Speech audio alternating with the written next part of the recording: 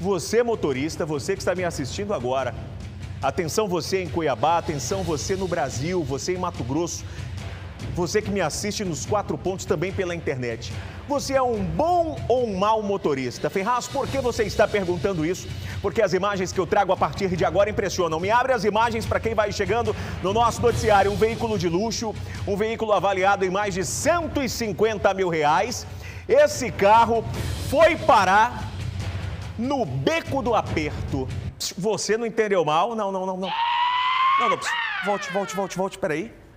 Como é que isso é possível? Rapaz, como de acho o cara meteu esse carro nesse beco aí? É, não tem. Esse cara é um gênio. Não, olha isso, olha isso. O beco do aperto. Me abre as imagens para quem vai chegando agora. Olha o carro, bicho. Foi parar em um beco desse tamanho. Desse tamanho.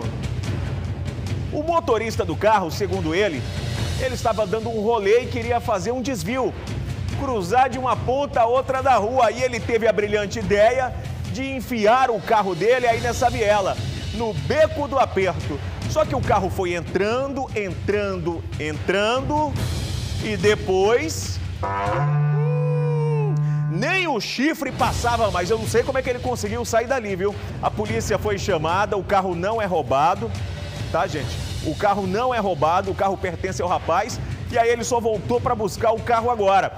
Esse caso me chega direto da minha querida e amada Goiânia. Deixa eu mandar um abraço para o pessoal de Goiânia também que assiste pelas redes sociais.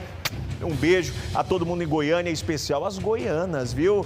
Tô com saudade de Goiânia, saudade de comer o piqui de Goiânia!